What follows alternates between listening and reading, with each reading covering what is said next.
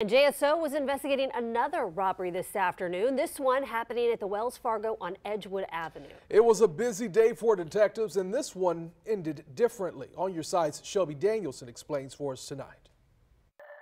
Bank robbery suspects are usually caught running or driving away from the scene, but in this case, he was caught in line because little did he know someone was already standing by with handcuffs, and that someone is usually associated with protecting our highways but is working overtime to protect us in our banks. It's an unfortunate truth, but there is a spike in bank robberies leading up to Christmas.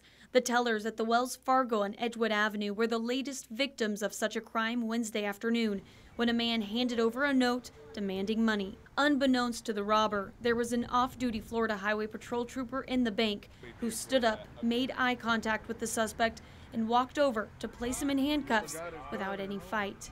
The incident as a whole was very calm. FHP Master Sergeant Dylan Bryan says they have off-duty troopers hired to work security at banks all over the First Coast.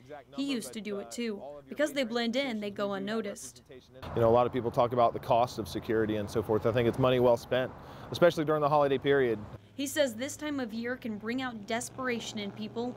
The Wells Fargo suspect was unarmed and surrendered peacefully.